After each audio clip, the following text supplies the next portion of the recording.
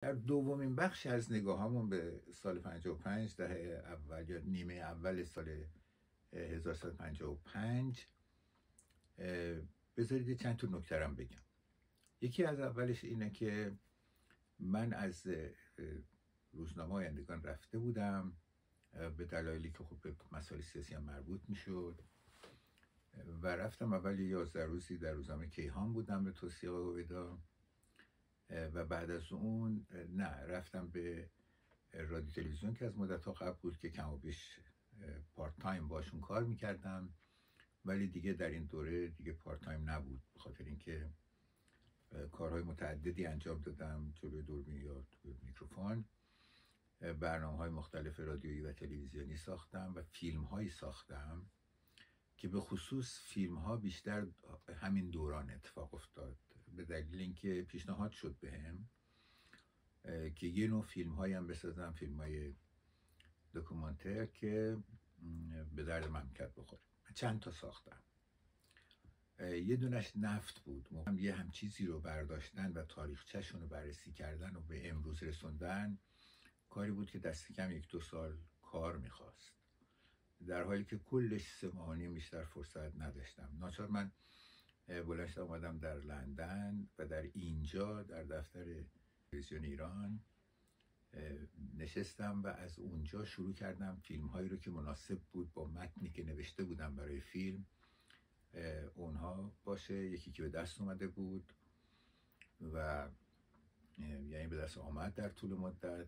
بیشتر از این رفتیم مصاحبه خواستیم. مصاحبه هایی که نمی‌شد رفت. من یکیش رو یا دوتاش رو خودم رفتم این وسط ولی بقیه هم باز دوره آجانس هایی که بودش برامون مصاحبه رو انجام دادند و فروختند و خریدیم و که در اون وسط اتفاقاتی هم برای من افتاد. از جمله اینکه کسی بهم کمک کردش که اگه می‌خوای در این فیلم تاریخچه هم ببینی تاریخچه نفت و نفت ایران بهتری که بری توی بریتش پترولیم من رفتم و خیلی جایی که مشخص بود و مطالب و کتابخونهشون و اینا که خیلی دنیای عجیب غریب بود اینا همه رو به دست آوردم تا اینکه رفتم به دیدار مدیر کل اون موقع لورد و جز حرفایی که می‌زدم گفتش که منزلش بیرون از شهر بود.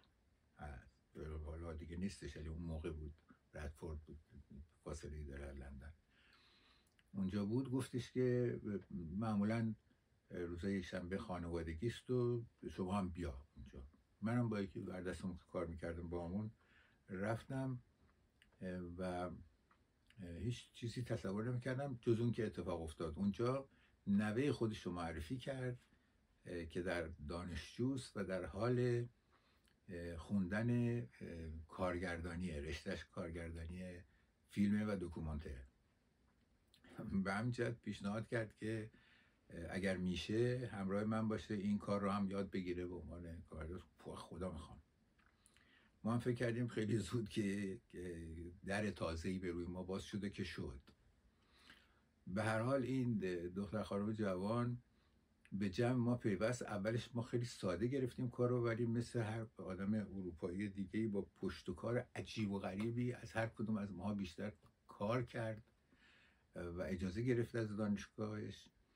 انقدر این کار جدی صورت گرفت که وقتی که ما بعد از یک ماه آزم شدیم که بریم به ایران رفتیم که با لرد خداحافظی کنیم. قبلش البته صحبت شده بود سر اینکه اصطلاح با ما بیاد. و این جریان رو کامل کنه یعنی برسونه به اینکه قضیه دکوپاژش و اینا هم صورت بگیره اونجا باشه و ما بتونیم او رو به عنوان مشاور معرفی کنیم. ما هم راضی بودیم. از خدا می‌خواستیم. یک به جوانی که این همه مسلط بود و اینقدر خوب همه کارهای فنی رو بلد بود. وقتی رفتم با ایشون خداحافظی کنم در رادفورد در همجایی که قصرش بود یک بسته ای به من داد یه بسته ای که یه رابط فیلم بود. که اون موقع هنوز طبیعتا مثل امروز نشده بود که سیستم های راحت تری باشه. همون نوارایی بود که فیلم ها باش گرفته می‌شد. اینو توی پاکت عادی یه چیز مثل که بقالی خرید کرده باشیم تو این داد من. وقتی من دارم درست کردم که بگیرم گفتم چیه؟ گفت این هدیه است به تو. گفتم خیلی متشکرم. کشید دستش رو گفت ولی نمی‌تونم بهت بدم. شوخی کرده بود. گفتم خواهش کنم لطف دارید؟ گفتش که این رو باید بخری از شرکت ما از مجموعه بی پی.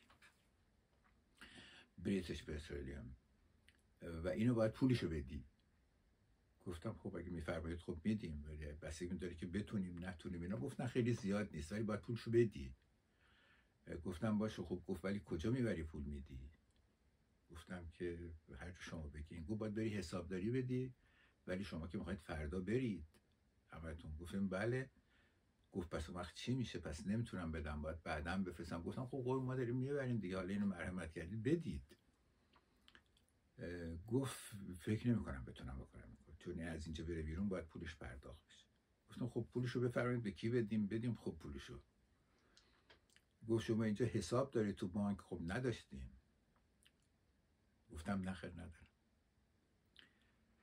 گفت کاره خیلی ناراحت شدم ولی همونطوری می‌کنم باید برات میفرستم طوری و اینا تو این اوضاع احوال. نوه او اومد وسط گفت مگه از کارت من نمیشه استفاده کرد؟ گفتش که چرا میشه؟ گفت خب پس اجازه بدید از کارت من برداشت بشه. گفت آره ببر بده. چیز کن تلفن کن خبر بده. به این ترتیب این نواره رفت تو جیب ما. ما اومدیم با این دستیاری که پیدا کرده بودیم اومدیم به تهران. البته موقع که رسیدیم فرودگاه معلوم شدش که این پدرش با پادشاه و دربار ایران بسیار معنوسه و خیلی آشنان و رفت آمد کردن و این حرفا که ما نمی‌دونستیم. مثلا ماشین دربار اومد دنبالش بردش البته روزهای بعدی اومد با ما کار کرد. من اون نوار رو بردم به تلویزیون فردا صبحش تو جیبم گذاشتم؟ رفتم اونجا گذاشتم روی دستگاه بلانشور گفتم که یعنی ببین ببین چی اصلا ما داده شده. تکون دهنده بود. ما قدیمی ترین فیلمی که از ایران داشتیم فیلمی بودش که تو سال جشنهای شاهنشاهی به قیمت وحشتناکی که اصلا نمی‌تونه تحسن بکنه آلمان ها از اون 13 دقیقه به ایران فروختن. و اینم مربوط بود به فیلم کامساکس که اومده بود در زمان رضا راهن ساخته بود بنابراین فیلم های گرفته بود که قبل از اون همچی فیلم های وجود نداشت. به همجرد یه همچی سابقه وجود داشت و موقع هم 300 هزار مارک برای این پرداخت شده بود. خیلی دردآور بود به طوری که تقسیم شد بین تلویزیون و وزارت فرهنگ ولی حالا که من رفتم اونجا دیدم یه فیلمی اومده که باور نکردنی یعنی اینکه یعنی چی؟ تاریخ داره اولش. و بعدم داره جای دارسی رو نشون میده. موقعی رو نشون میده که نفت تو ایران نبوده اومده یعنی 1905 ما اصلا درباره چی حرف می‌زنیم مثلا الان؟ چه رفتی داره به زمانی که کامساکس اومد؟ و حالا همه این چیزها اومده بود توی ذهن آدم. و برام باور نکردنی بود ولی بود. می‌دونی یکی از شاهکارهای تاریخ هست یکی از قدیمی ترین فیلم های دکومنتری جهان البته حالا دیگه شناخته شده شده در دنیا. و جای مختلفی فقط اکتفا نکرده به توایف به بازار اصفهان به بازار تهران خیابونای تهران. اینجا هم همه سر زده. یعنی همچین چیز عجیب و غریبی به دست ما آمده گوهر عجیبی بود مگه به این سادگی بود. من در حدود چهار یا پنج دقیقهش رو در همین فیلمی که درست کردم گذاشتم. خیلی هم خوشنود شدم. البته از سر تقصیرات خودم و روزگار نگذره که این فیلم نمی‌دونم الان کجاست. متاسفانه حالا به قصه ما مربوط نیست. اما کارهای مختلفی که انجام شد یکی از کارهایی که تو اون سفر با همه چیزایی که پیش اومده بود بر من پیش اومد که این بود که تونستم بر اساس قرار قبلی که گذاشته بودم و انجام نشده بود با آقای آنتونی دن مصاحبه کنم. قول داده بودم به روزنامه رستاخیز چون موقع دیگه من در آینده نبودم. مصاحبه کردم با ایشون. برای اطلاعتون ایدن معاون چرچیل و آدم خیلی صاحب عنوان جهان. نخست وزیر خیلی مهم دوره بعد از چرچیل. و قبل از اونم در دوره وزارت اینا. من کم و بیش می‌دونستم که او زبان فارسی و عربی می‌دونه. خونده بودم این برامون ولی تصور نداشتم که انقدر مسلطه. فکر می‌کردم او هم مثل سادات میمونه که می‌خونه باید با نوشت با دست براش و اینا بازار گرفتاری. اما اینطوری نبود و آیدن خیلی خوب فارسی می‌دونست. بعد شعر حافظ از بر می‌خوند مولانا می‌خوند. اینا همه من حیرت زده کرده بود. این مصاحبه انجام شد. ضبط شد. مصاحبه خوبی بود. بیشتر راجع فرهنگ ایران صحبت کرد. ولی من یه ذره شیطنت کردم. گفتم من می‌خوام راهنمایی هایی از شما بگیرم. یه ذره راه باز کنید سورس من یادآوری کنید. کجاهایی می‌تونم که اطلاعات بیشتری راجع به شما و روابطتون با وطن من پیدا کنید. نه گفت چه جالب. آره. گفت ولی اینو خاموش کن. گفتم چشم. خاموش کردم. و بعد از اون وارد حرف زدن شد. و عجیب اینه که گفت پس من اول من با سوال شروع می‌کنم. گفتم که بگو گفتش که آخه چطور میشه؟ چرا پادشاه این کار داره می‌کنه؟ گفتم که پادشاه ما من نمی‌دونستم که شما یه هم چیزی می‌پرسید. من در اون اندازه نیستم. من به حال من الان سی سالمه و خلاصه درس اون اندازه نخوندم از تاریخ و از روابط شما اینا. اشارات مختصری می‌کنید به جای مشخصی هدایت می‌کنید؟ گفت درباره شخص پادشاه. من بیشتر از ده بار با ایشون صحبت کردم و بدون شک یکی از باهوشترین کسایی است که دیدم و شروع کرد تحسین کردن از ایشون. ولی یک سوالی به وجود آورد که من در همون سال 55 هم راهنمای ذهنیم شد چون بعدش بر اساس اون راهنما تونستم کنجکاویامو بیشتر بکنم گرچه اثر نداشت. و اون اینکه اون پرسید که چی شد که این احوال ما با ایشون به اینجا رسید که از چهار سال پیش شب و روز در هر فرصتی به اول به بریتانیا و بعدم به امریکا حالا از ما که گذشت. ما که به هر حال در 28 مرداد دوره مصدق با خیانتی که مصدق کرد رو تعبیر خودش بود. به هر حال ما بودیم که دوست و نزدیک با شما بودیم ولی دکتر مصدق نذاشت. یه جوری بند و پاره کرد که چاره نمون توز این که رئیس من آقای چرچیل بره امتیاز بده به امریکا و امریکا رو بکشونه توی دایره تا بتونه از شر مصدق خلاص شه. بعد اونجا جمله ای گفت. گفتش که سوال ها رو برام وجود داره.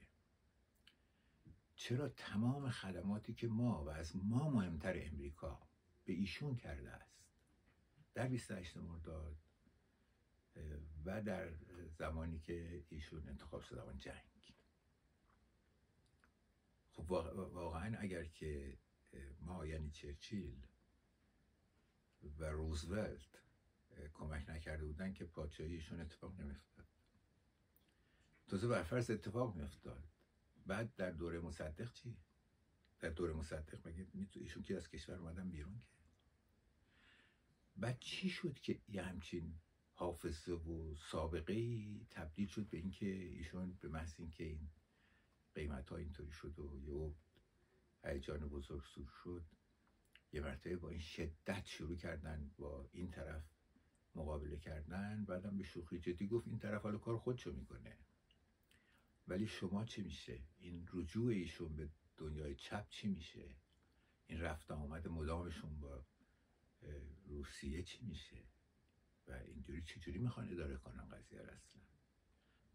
بعد اینو گفت و بعد دیگه من شروع کردم یه سوالای دیگه از این کردن که این بحث رو ادامه نداده باشم ولی واقعش اینه که از موقعی که از پیش اومدم بیرون این گفته های او که پروفسور رفتم کتاب نوشتم که فراموش نشه واقعا تکون دهنده بود.